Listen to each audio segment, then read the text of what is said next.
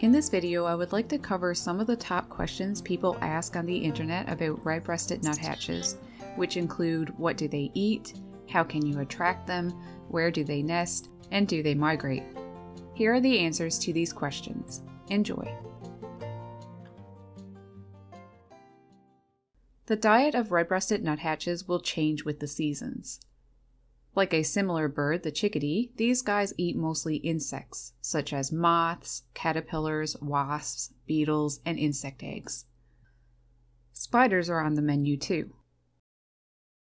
During the breeding season, a nuthatch's diet may consist of as much as 65% beetles, with 40% of them being weevils, a type of beetle that can be destructive to over 100 species of plants.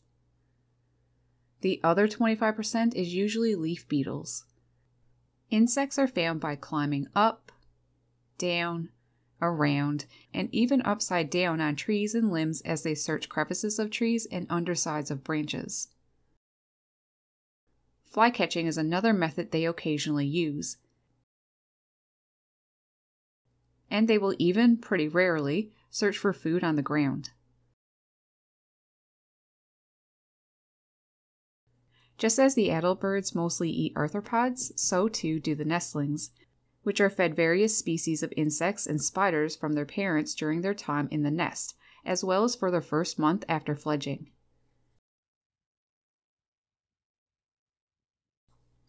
Sometimes, when there is an outbreak of spruce budworm, which eat the needles and buds of conifers, causing much damage to northern and western forests, red breasted nuthatches can help fight against this process since spruce budworm is on their menu.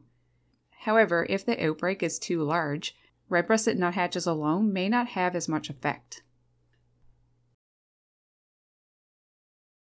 As winter nears, the days become shorter, colder, and with not much insects around anymore, they switch to eating the seeds of native trees, those found in the cones of pine, spruce, fir, and other conifers.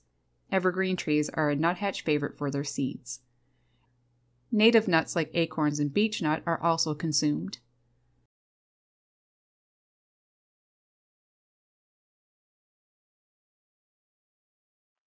Although winter means insects aren't as plentiful, red-breasted nuthatches can still find bark beetles in the bark of trees. These little guys will also eat at feeders, which brings me to the next question. How can you attract them to your yard? If you are in their location and you want to have these energetic and feisty little birds as guests in your yard, setting up a suet feeder may help to attract them in winter, especially natural nut suet cakes or suet logs. Black oil sunflower seeds in a tray or hopper feeder is a good choice too, and you can never go wrong with unsalted peanuts out of the shell. Red breasted nuthatches love peanuts. A good way to offer these peanuts is on a tray, hopper, or in a mesh peanut feeder. They will cling onto the mesh while pecking at the nuts until it can fit through and be pulled out. Stackables and cylinders with nuts is a good choice as well.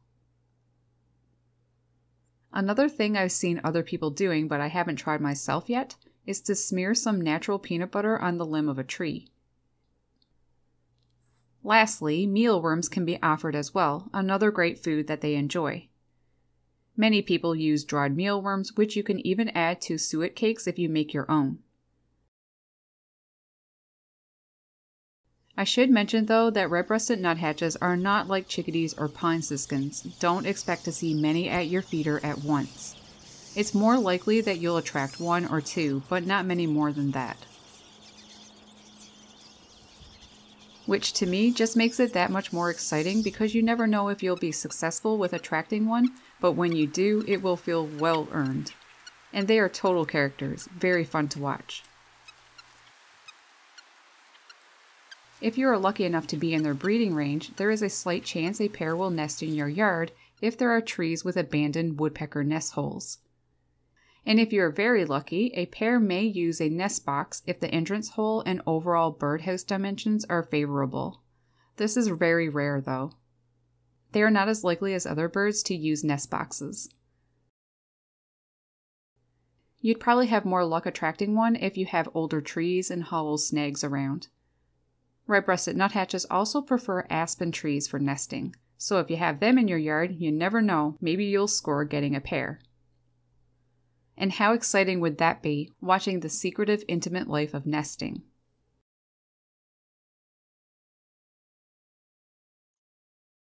And since we are on the topic of nesting, here's the next top searched question Where do they nest? Red breasted nuthatches are tree cavity nest builders. They nest inside trees. A pair will usually choose a soft, rotted part of a conifer with the top missing, or an aspen tree, which is apparently their favorite due to the wood being softer than that of conifer trees and thus easier to dig out. Like woodpeckers, red breasted nuthatches excavate their own nests, roughly 5 to 40 feet high. It takes around a few weeks to complete, with the cavity being 2.5 and 8 inches deep.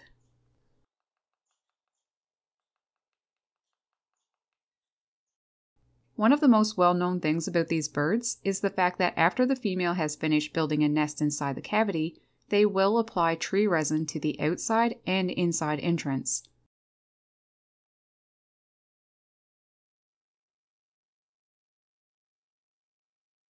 This is done to deter insects and possibly predators like squirrels.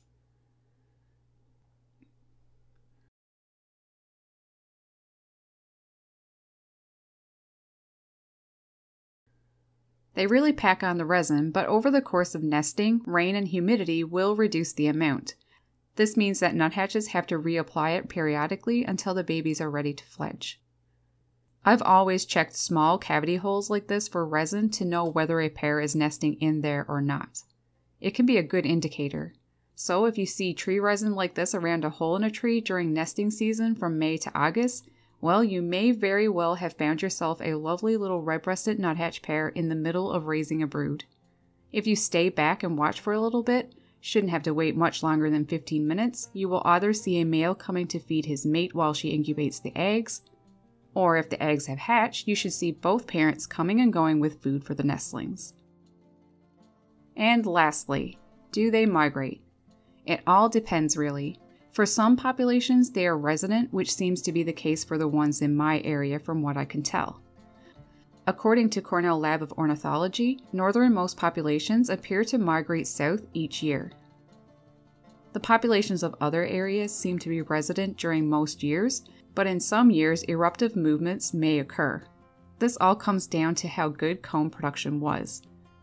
Years when cone production is low on their breeding grounds, these otherwise resident birds leave, moving southward in vast numbers. A cyclic event that tends to occur roughly every two to four years, depending. And in some years, red breasted nuthatches show up as far south as the Gulf Coast, way out of their range. Long term observations at Long Point Bird Observatory in Ontario, Canada, corroborate patterns observed at other locations, with eruptions occurring randomly throughout the years 1961 to 1987.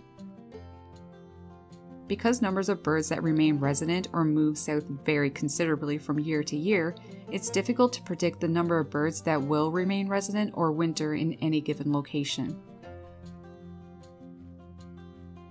This year is an eruptive one for them. Red breasted nuthatches started heading south back in mid August. Cone crops haven't been good in the eastern boreal forests, causing them to leave in search of food. Individuals have made it as far as Oklahoma and Alabama. Given that these little guys are short distance migrants who prefer the colder northern climate, seeing them travel so far reveals this sudden influx is not only a classic example of major food supply related to eruption, but it's also occurring unusually early in the year. For those of you with bird feeders at home, this is great news. Perhaps your feeders will be where one of these darlings will go. I'm curious to know how many of my American friends, especially in the more southern areas, have seen red breasted nuthatches this year. Comment below, I'd love to know. So, there's a few of the most searched questions on the red breasted nuthatch answered. Was any of these questions something you've wondered? Also, I thought I should ask if you have future video idea that you would like to see. I hope you'll take the time and leave it in the comments below, and as always, thanks for watching. Take care. Happy birding!